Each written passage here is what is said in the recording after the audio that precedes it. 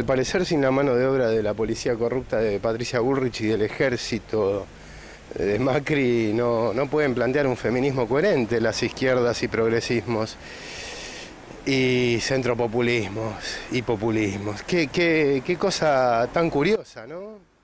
Y sin los medios de comunicación es como que, no sé, una persona perseguida que vos decís, uy, están matando una mina cada dos minutos es recontra perseguida, no la dejan hablar, no salen todos los medios de comunicación las 24 horas del día. Me parece que hay una estafa ahí, ¿no?